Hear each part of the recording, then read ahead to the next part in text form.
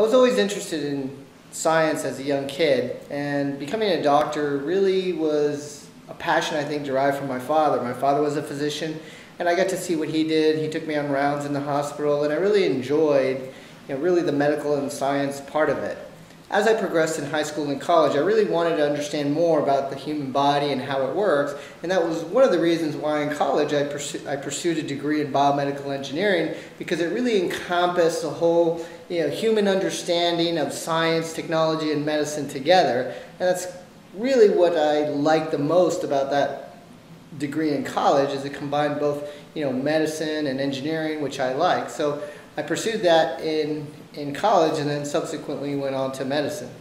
While I was in college, I went to Tulane University and I studied biomedical engineering there.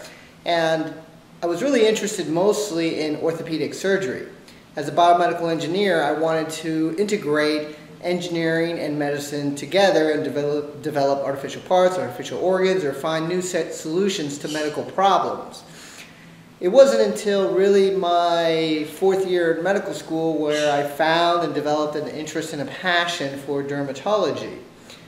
I actually had the chance to rotate during medicine with a wonderful female uh, dermatologist and she really showed me what was available in this specialty. And I really didn't realize the extent of surgical procedures and the extent of medicine.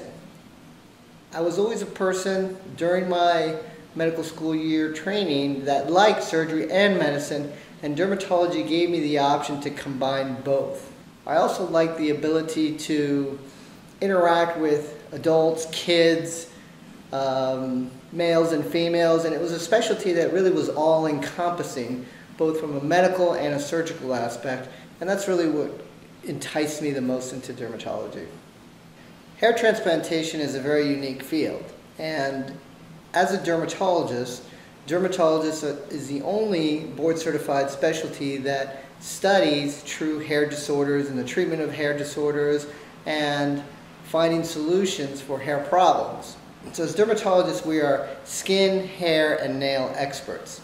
And it was during my residency in dermatology at KU Medical Center where I came across other physicians that were doing hair transplantation surgery and I got a chance to work with them, learn about the procedures, and since I was very surgically oriented, it really drew me towards that procedure, and it was something I desired to pursue.